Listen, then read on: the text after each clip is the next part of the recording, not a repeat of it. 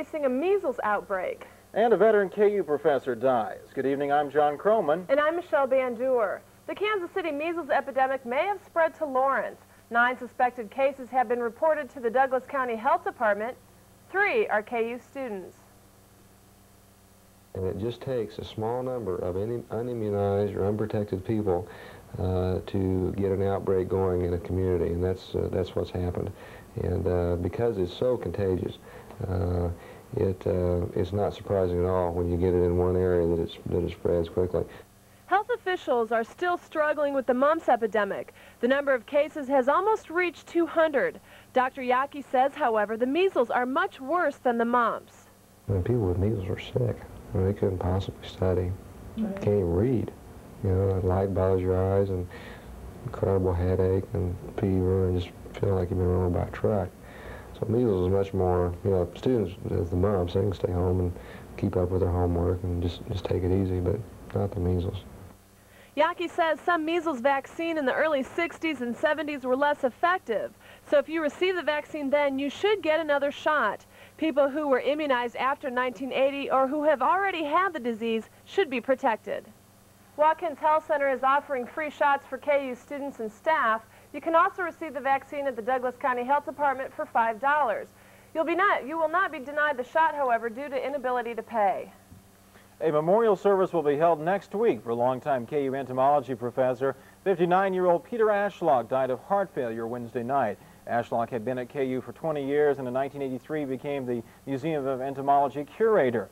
Services will be next Wednesday at 4 p.m. in Danforth Chapel. The Douglas County Commission will not meet Monday morning so that commissioners can go to school in Topeka. It's not just any school, it's a two-day intensive training course on the reappraisal hearing and appeals process. Commissioners will deal with those cases that go beyond the first two levels of appeal. The county appraiser next week will begin sending out change of value notices, showing us what he thinks our property is worth. The state expects at least 10% of us to appeal. The Lawrence Report next week will carry a series of reports explaining the notices and the appeals process. Beginning in March, Lawrence will have another hometown newspaper. It will be a weekly called the Lawrence Observer. Veteran journalist Janet Major is launching the new publication. She says it will look like a tabloid and have the feel of a news magazine. People have often said, I wish there were another newspaper. I get one thing from the Journal World, but I like another perspective. And about a year ago or so, I guess I also seemed to be hearing, why don't you start a newspaper? Mm -hmm. And so I started looking into it. The Lawrence Observer will hit the streets the first Thursday in March and will be available free of charge on the KU campus. Off campus, it will be available via annual subscriptions or by the copy. Major says she does not expect to replace the nearly century-old Lawrence Journal World, but hopes to add to the pool of printed knowledge and ideas in Lawrence.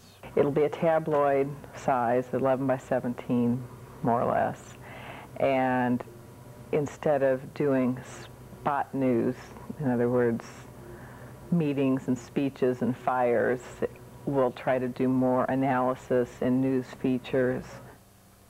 Still to come in the news, assault weapons are causing more problems for police.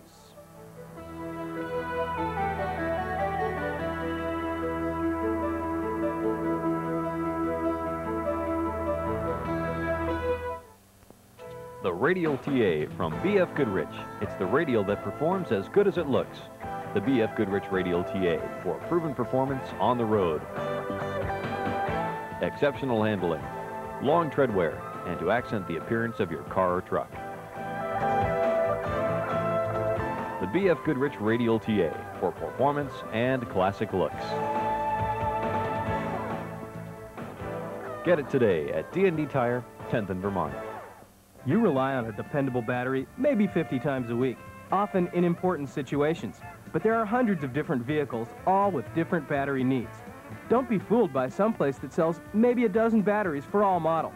The battery specialists at the Lawrence Battery Company stock more than 5,000 fresh, top-quality, maintenance-free batteries. The next time you shop for a battery, you'll find the best battery deal in town at the Lawrence Battery Company. Happiness is the right battery that starts and starts and starts. Three powerful superstars, one spectacular night of pay-per-view television. Frank, Liza, and Sammy, Friday, February 10th. Just in time for Valentine's weekend, it's Frank, Liza, and Sammy, the ultimate event. Get front row seats in your own home for the best in pay-per-view. Order Frank, Liza, and Sammy for Friday, February 10th, 9 p.m. Eastern and Pacific with a radio stereo simulcast where available.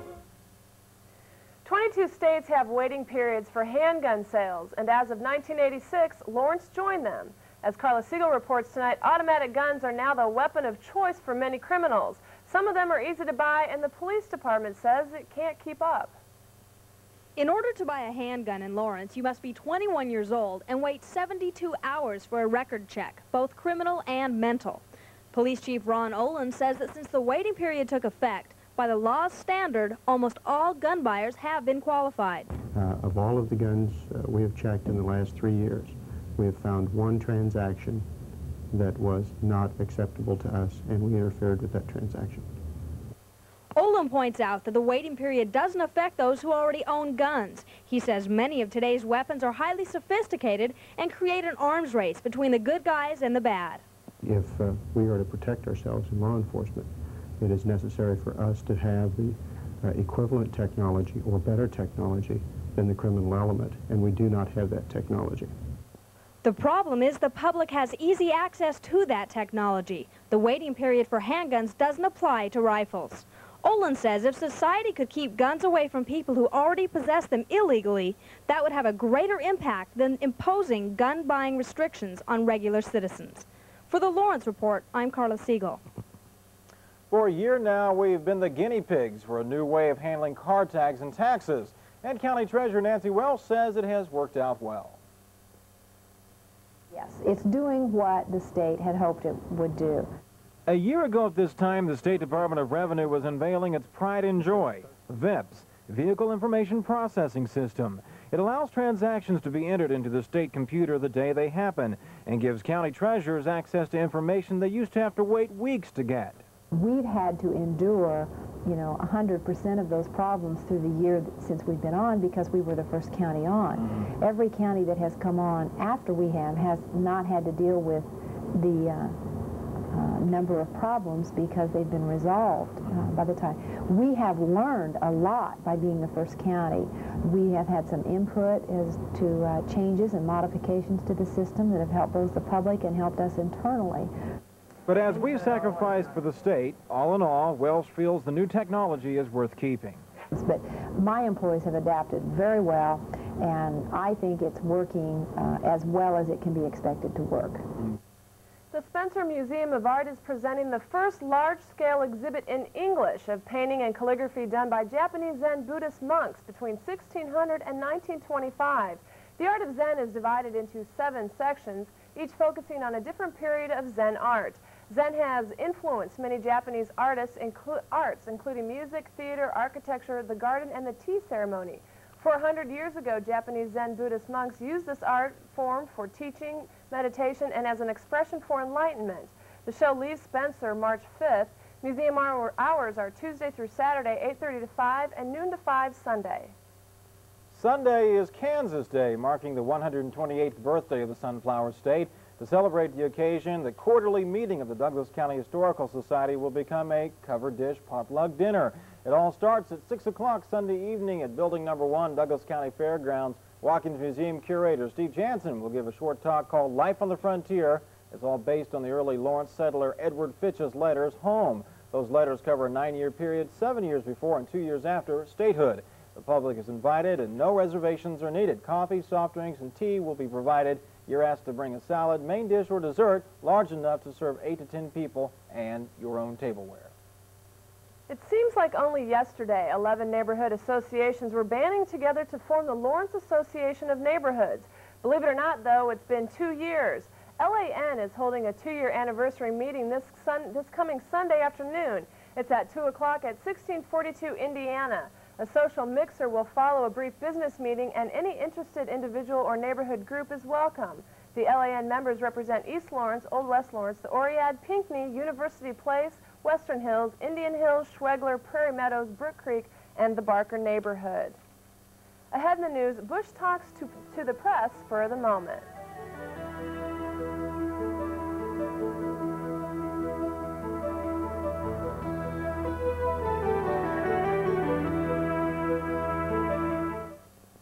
Step right up to the greatest show on earth, the Lawrence Chamber of Commerce 1989 Small Business Fair, Friday, Saturday, and Sunday, February 3rd, 4th, and 5th.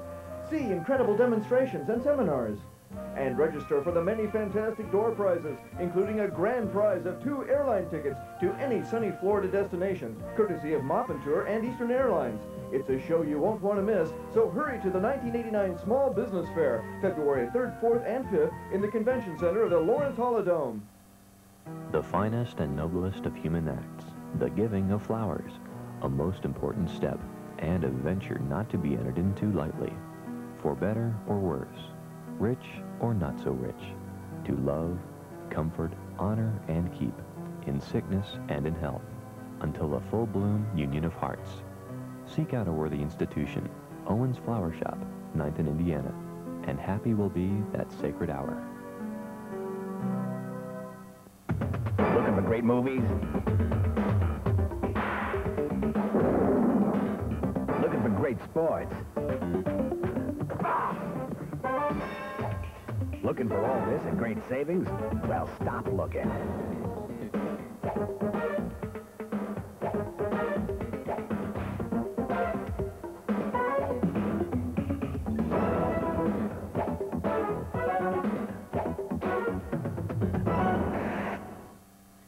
After his first week in the White House, President Bush says he's ready to roll. In a spontaneous press conference this morning, Bush said his trip to China next month is not meant as a snub to the Soviets.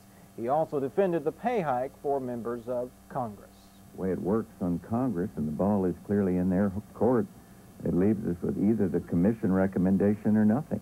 And so, seeing the problems as I do, I still feel that, uh, that uh, I should not go about undoing the Reagan decision. Bush appeared easygoing and confident in his first 43-minute meeting with the press. Former President Ronald Reagan's infrequent news conferences had a 30-minute time limit. A Marine Corps official and two defense industry figures pleaded, not, pleaded guilty today to charges in the Pentagon procurement case. The Marine said he took bribes for providing confidential information on contracts. A former employee of Unisys and another consultant from the contracting firm admitted to charges that included illegally contributing to campaign donations. It was the first time that a congressional campaign had been publicly linked to the case. And political extremist Lyndon LaRouche was sentenced today to 15 years in prison. LaRouche was sentenced for a tax and mail fraud conspiracy. He was convicted of plotting to defraud the federal government on his taxes and to deliberately withhold more than $30 million in loans from his supporters.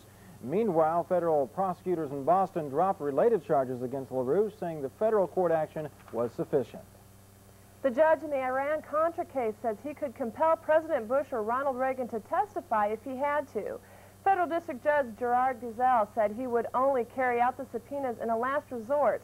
The government motioned to remove subpoenas for the testimony of Bush and Reagan in the trial of fired White House aide Oliver North. Gesell did not rule on the motion. On Wall Street, the stock market surged today. The Dow Jones Industrial Average climbed nearly 32 points. Gainers led decliners by about 3 to 2, and there was heavy trading as 255 million shares changed hands. Analysts say a strong dollar on the foreign exchange markets gave stocks a boost. And Jim Brasciano is up next with sports, and I guess it's round two of KSU-KU. Mm-hmm. Round one was a dandy over in Manhattan two weeks ago, and tomorrow's game should be equally as good. I'll tell you more about it in just a minute or two.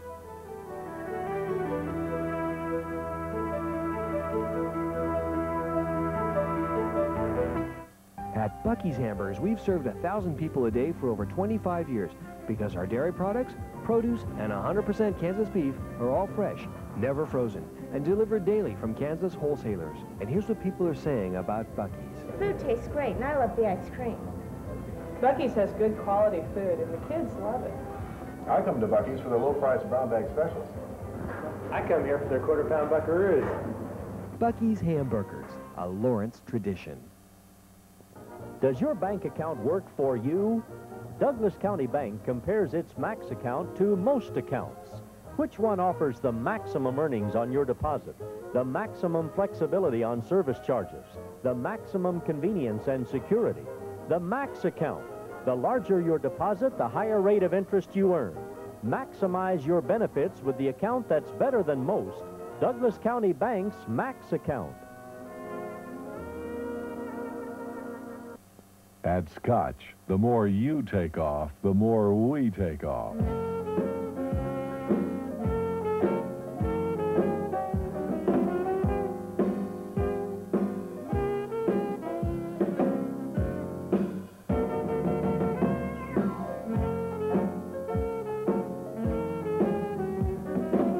The Scotch Frequent Cleaning Club.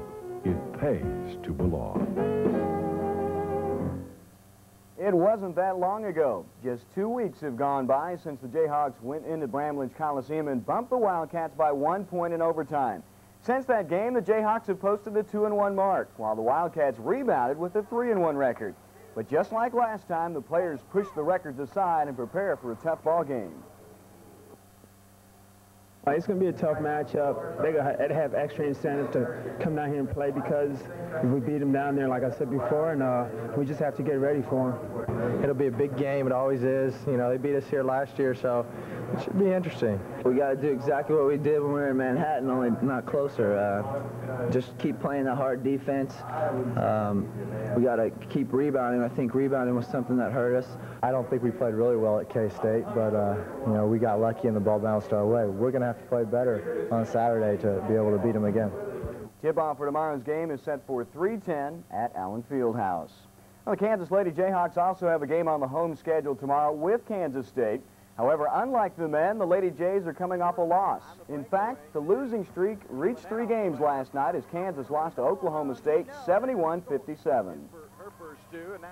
It came out real tough. We just didn't respond too well right away, but yeah, they did. They came out as real tough. I have the feeling that everybody in the conference is aware of the fact that we're such a young club that the way to beat Kansas is to come out in the very beginning and, um, I mean, really work hard to overwhelm us, um, put as much pressure on uh, the young squad as they can, and uh, try to take them out of the game as early as possible. And then, uh, you know, second half, uh, obviously we try to fight back, uh, but when you get in a hole like we, we tend to do, it's, it's kind of tough. The Lady Jays found it even tougher to get out of that hole last night, hitting just 29% of their shots from the field. Personally, I was just off. I think the reason why I wasn't shooting very well is I was rushing my shot most of the time. I wasn't really concentrating too hard, and I was just really releasing too quick. We got shots off. They got, they got clean shots off. So I don't think that it was a matter that their defense hurt us there. It's just that we couldn't put them down. Coach Washington was pleased with their team's defensive intensity and also the free throw shooting. That's one thing that had been lacking in recent ball games. And as far as gearing back up for Kansas State tomorrow afternoon, the players say no problem. A big rivalry. I'm looking forward to it. No problem whatsoever. We're gonna, we're gonna be ready. The Lawrence High Lady Lions passed their first test in the Emporia Invitational Basketball Tournament on Thursday, and they did so with flying colors. Lawrence High dumped the second-ranked team in Class 5A by 20 points. The Lady Lions are up against 9-1 Emporia in the semifinals tonight. There's another Kansas University team that has posted some impressive numbers without really taking to the court. The 20th-ranked KU men's tennis team opened dual competition tonight against Southwest Missouri State. The Jayhawks also have the nation's 17th-ranked singles player on their squad, who will be very busy this weekend. John Falbo, our number one player, is currently ranked like 17th in the country. And all weekend he'll play tough competition. Against Southwest Missouri State, Hawkins Svensson is ranked like 46th nationally. And Saturday night against Mike Brown, Mike is ranked 5th nationally. Brown is part of the Arkansas tennis team, which is 15th in the early rankings, and Kansas will face them on Saturday. For Falbo, the rankings aren't important, even his own. But the level of competition is. I don't really concentrate on the ranking or the wins or the losses. I just go out and I give my best effort every time. And whatever the result is, is fine with me. We're scared a little bit. I'm nervous, scared, nervous. Uh, I just want us to go out and play as well as we can. Coach Perelman's also excited about facing top-notch teams, especially on the home front. See, it wasn't long ago that KU Tennis couldn't attract such teams on their schedule, let alone recruits. But that's all changed. He's pretty much done it himself. Um, the players, we play and things, but it takes, it takes a great organizer as a coach to do the things that he's done and gain the respect for the university that he has. It's this crazy thing. When I got here six and a half years ago, they were just tickled to death we beat anybody, and now they want one championship after another. But that's a good feeling to have. But um, I just really important to me that these guys go out and improve, and we do this as well as we can day in and day out. Well, Scott's really done a great job with that tennis team over the six and a half years. Arkansas, 15th ranked tomorrow at Alvamar. No admission, by the way, out there. Sounds like a good thing to do on a Saturday. It is.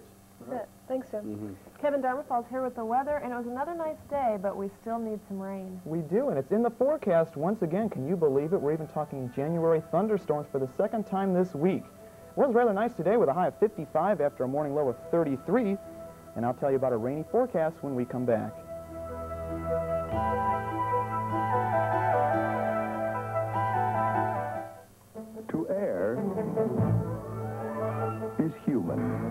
Cover it up is to be a kid. And to handle it, DuPont certified Stainmaster carpet. Now, even if a stain like this sits for hours, it's a memory in minutes with DuPont Stainmaster. The carpet that forgives. Ricky. Remember, get your Stainmaster carpet from Bud Jennings & Sons, 29th in Iowa, Lawrence. Charlton Manley Insurance, may I help you? I just had a wreck. What am I supposed to do? Don't worry, you've called the right person. We can handle most everything right here in the office. Let me get some information from you. Sound too good to be true? Not at Charlton Manley. In many cases, we handle the claims right here in our office. If you should need immediate payment, we can get a check in your hands the same day. Price is important, but so is service. At Charlton Manley, we offer the best of both. Sure, you can pick up your check this afternoon. I can? Great!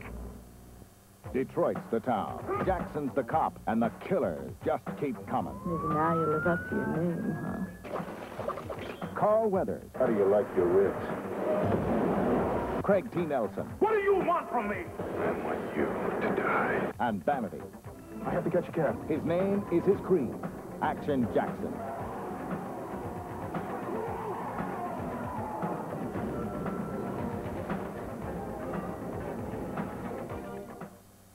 Well, wasn't it just a gorgeous day again this afternoon? We reached a high of 55 degrees here in Lawrence, and much of the Central Plains saw much of the same weather. 57 was, degrees was the high again for Salina today, 52 down the pike at Wichita.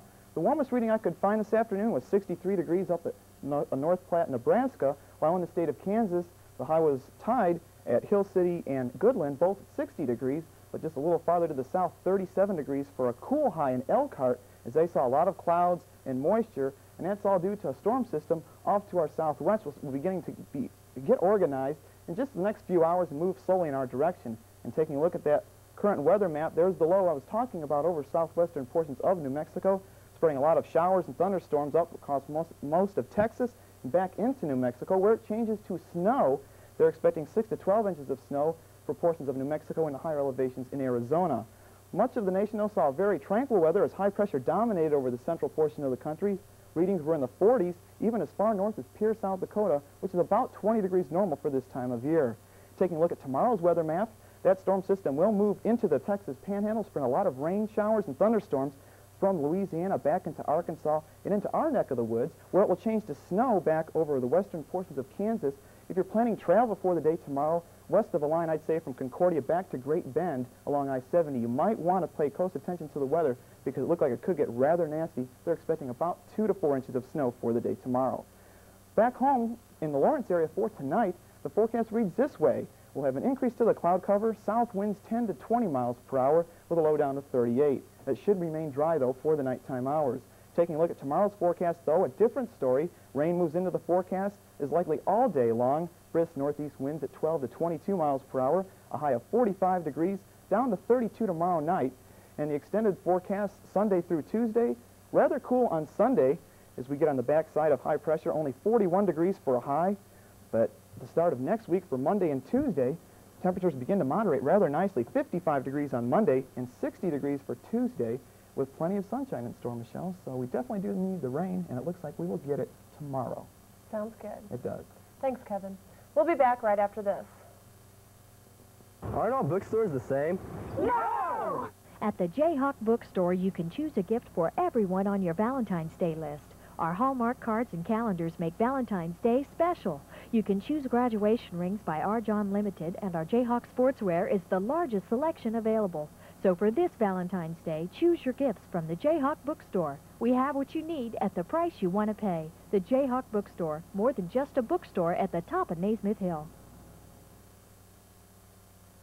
Introducing Manpower Personnel Services, permanent placement for office and industrial workers. We're using the same innovative system for testing, training, and evaluating permanent job applicants that has made Manpower Temporary Services the leader in the placement services industry. Now you can hire candidates for a permanent position on a temporary basis.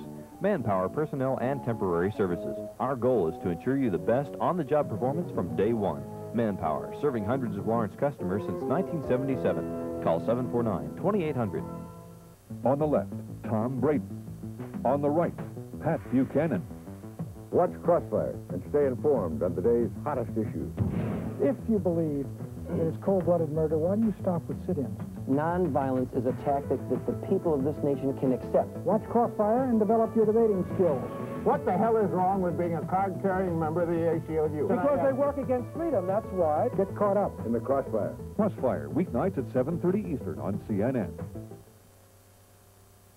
A French astronomer remains persistent in his mission despite a lack of funds, respect, or success. He's listening to radio waves for signs of intelligent life in outer space. And as we see in this report, so far he's heard no one calling. This is the Nançay Radio Telescope in central France. It's an immense electronic ear listening to radio waves from across the galaxies. Radio waves that are part of the energy escaping from exploding stars, pulsars, quasars, and the like. They're picked up in this huge antenna and translated into digital information that can be studied by astronomers. The radio telescope at Nançay also listens for sounds of life. Jean Heidmann is an astronomer who's been waiting years to hear something.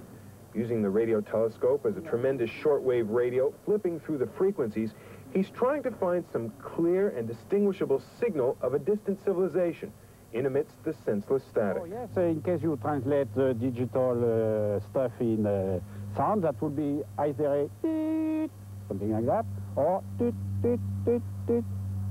Heidmann hasn't had any luck so far, and he says he's having a hard time getting respect and funding for his research from other scientists.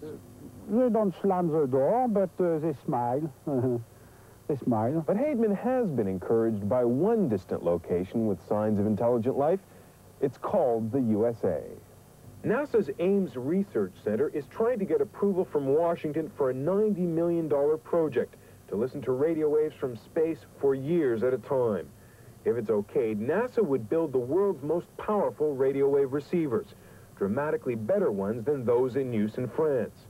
Heidmann is trying to convince NASA to attach one of those new receivers to the Nançay antenna. And we hope that uh, NASA will bring a copy of its new receiver, revolutionary receiver here, in order to, in a kind uh, of international collaboration, to put them together to see whether we get signals from other civilizations.